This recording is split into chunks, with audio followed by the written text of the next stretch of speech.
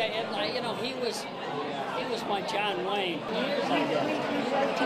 If anybody questions about John's character, his refusal to take an early release from POW camp, I don't know if I could do that.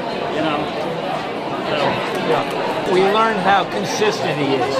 That what seems to be very relevant today, the message he's putting out there, is consistent with what he was putting out there 10, 20, and 30 years ago, which was impressive to us. When the New York Times announced that he was getting diagnosed with glioblastoma, we, we knew time was ticking, and uh, we had done a film earlier on uh, Senator Kennedy after he was diagnosed, and it just was a natural fit.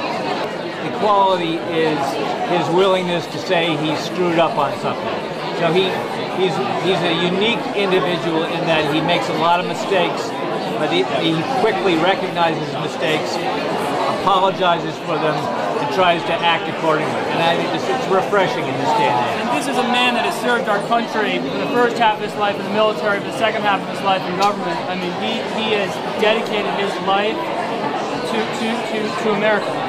And one other thing I'd like to add is I love how open he is. I mean, in 2000 when he did his Straight Talk Express, I mean, that's a very revolutionary idea to let the press sit on the bus with you and open up and say what's on your mind in real time as opposed to filtering it all the time. So I respect that a lot. I brought the film down a few weeks ago and showed it to him in, in, uh, in its pretty fine state form, and he, he loved it.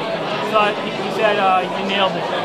He took, he actually took Teddy by the hand and said, Thank you. thank you, you nailed it.